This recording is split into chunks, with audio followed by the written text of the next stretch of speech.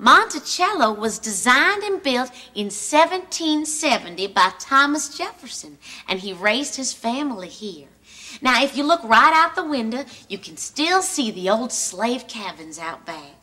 All right, any questions? Yeah, is it true that Jefferson had an affair with one of his slaves and that some of his descendants are black? So the Yankee scientists say, but uh, personally, I don't believe it's true. The hell it ain't! Tour's over, get out! And don't let the door hit you where the good Lord split you. Excuse me, but who are you people? We're the Jeffersons, the rightful heirs to Monticello, and we're moving in. We're moving on up to Monticello. To that deluxe honky mansion in the sky. Yeah, we're moving on up, to Monticello. We got the DNA to prove there is no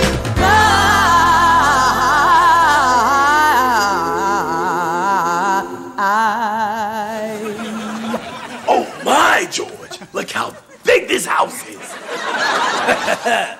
The king finally has his castle. No, because some old white dude couldn't keep his peanut butter out the chocolate. Look who's master of the plantation now.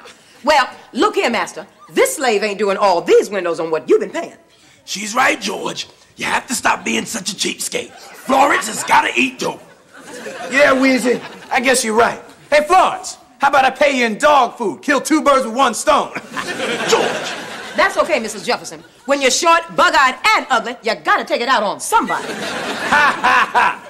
Why'd you stop running your mouth and run a dust rag over this old junk? You a maid, start maiding. Well, I'll move the broom, but it won't be across this floor. Oh, it's oh, gonna oh, be oh, right oh, up- now stop, you two. George, you know what's missing here? A nice big refrigerator. So when I'm sitting at home watching my big screen TV, I could reach back and grab me a nice cold pig's foot. Get out, you Negroes! Who said that? Me! The ghost of Thomas Jefferson. Oh my God, George, it's your ancestor. Mrs. Jefferson, let me ask you a question. Which way you running? I don't know, Florence. Why? Because I don't want your big ass blocking me when I bolt for that door. You Negroes should go back where you belong. Wait a minute, we belong right here. And who you calling Negroes? Hey, hey, George, take it easy. He probably doesn't know that times have changed, and we call ourselves African Americans now. Yes, I do. But you'll always be Negroes to me. George, beat his dead ass. Wait a minute, Mr. and Mrs. Jefferson. Maybe he'll listen to me. I am with these fools. Hell, I ain't even black. I'm Puerto Rican. So if you don't mind, You're not going anywhere. George, I recognize that makeup. isn't this the same shade Michael Jackson uses?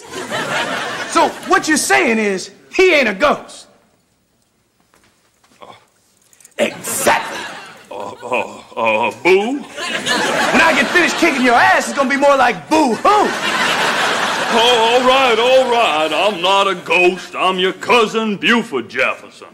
We white Jeffersons drew straws to see who'd have to scare you off, and I lost. Oh, really? Well, I'm about to lose my foot up your ass. Now, now, now, now, now, now, George. It's 1999, and this is a big house, and there's room for all the Jeffersons, white and black. Yeah, Weezy, I guess you're right. After all, we could always use a white butler. Buford, get our bags and step on it. Right away, Mr. Jefferson. Oh, and while you're at it, don't forget to get mine too. Now, wait just a minute. I don't mind taking orders from Negroes, but I'll be damned if I'm going to fetch and carry for some Puerto Rican. Well, I got your Puerto Rican right here. Where you at, Mr. Let